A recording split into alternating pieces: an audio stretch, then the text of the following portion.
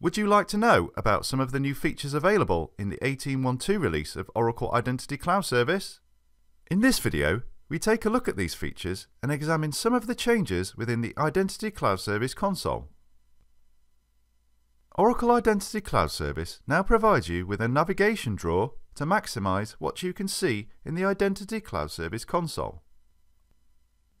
To display the navigation drawer, click the Action menu in the upper left corner of the console.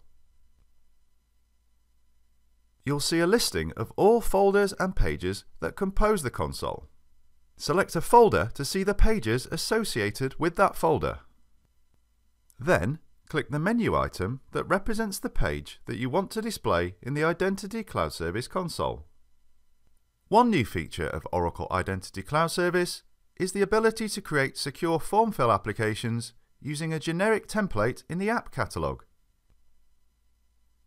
This functionality allows Oracle Identity Cloud Service to store and encrypt user credentials so users can sign into the application automatically without having to enter their credentials each time they access the application from the My Apps page.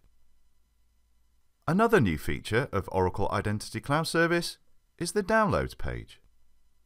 This page is a centralized location where you can download software development kits for Java, Node.js or Python, or the eBusiness Suite Asserter to integrate your web applications or Oracle eBusiness Suite with Oracle Identity Cloud Service. Click Download to the right of the software development kit or application that you want to download. Let's now take a look at some of the other changes made to the user interface for Oracle Identity Cloud Service 18.1.2. The Delegated Administration page has now been renamed Administrators. Also, there are three new features added to the Security menu. Identity Provider Policies, Sign-on Policies, and Network Perimeters. Let's first take a look at Network Perimeters. A network perimeter contains IP addresses, IP address ranges, or masked IP address ranges. After creating a network perimeter, you can prevent users from signing in to Oracle Identity Cloud Service if they use one of the IP addresses in that network perimeter. This is known as blacklisting. You can also configure Oracle Identity Cloud Service so that users can log in using only IP addresses contained in the network perimeter. This is known as whitelisting. After defining your network perimeters, you can assign them to sign-on policies. The Sign-On Policies feature allows you to define rules to allow or prevent users to log in to Oracle Identity Cloud Service. You can then configure your sign-on policies so that if you're trying to sign in to Oracle Identity Cloud Service using an IP address that's defined in the network perimeter, you'll be prevented from accessing Oracle Identity Cloud Service.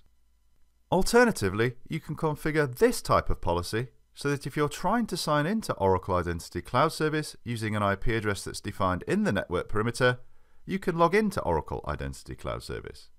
You can also allow or deny access based on the identity providers that will be used to authenticate the user, the groups to which the user belongs, whether the user is assigned to administrator roles, or with specific user accounts.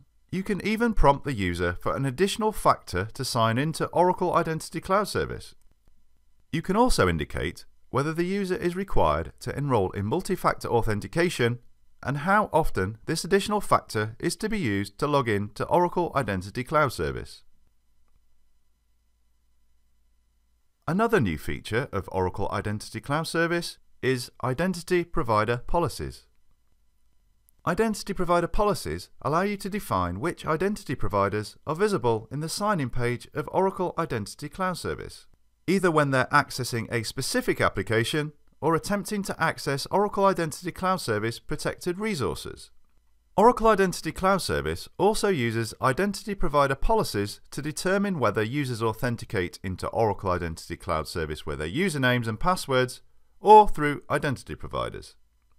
There are three types of identity providers that you can assign to identity provider policies. SAML identity providers, social identity providers, and a local identity provider.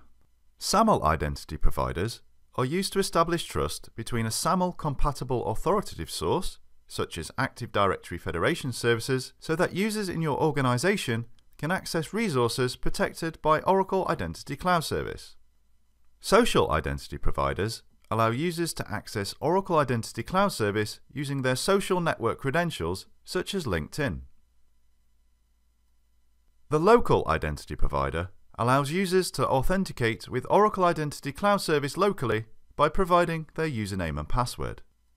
Let's suppose you've created several social identity providers and SAML identity providers, and you want to configure which of these appear in the Oracle Identity Cloud Service sign-in page. Without identity provider policies, you would not be able to configure this. So, if you had all of these SAML and social identity providers activated and set to appear in the sign-in page, they would all be displayed.